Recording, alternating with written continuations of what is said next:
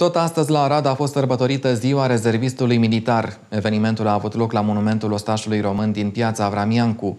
Cu acest prilej, înalt preasfințitul părinte arhiepiscop Timotei a oficiat slujba de pomenire pentru eroii neamului și o slujbă de tedeum pentru militarii care și-au încheiat cariera.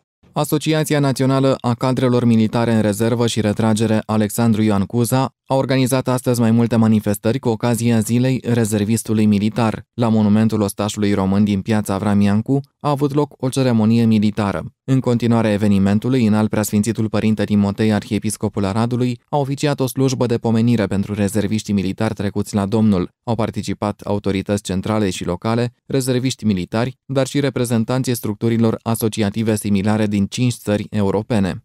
Obișnuim să participăm și la festivitățile care sunt ale veteranilor, rezerviștilor, cadrelor în rezervă, retragere, dar de data aceasta o festivitate deosebită pe țară, cum ați putut să înțelegeți, și cu participare internațională din cinci țări membre ale NATO. Ne-am bucurat cu toții că am găsit cunoștințe vechi și în rândul generalilor, militarilor în rezervă, cu care ne-am văzut mai de mult sau mai de, de curând și a fost prilejul să-i cinstim în mod deosebit pentru lucrarea care o îndeplinesc și acum în această stare care este de cinste, de onoare pentru armata română, că este permanent în vigilență pentru tot ce înseamnă ordinea și buna desfășurare a lucrurilor în lume.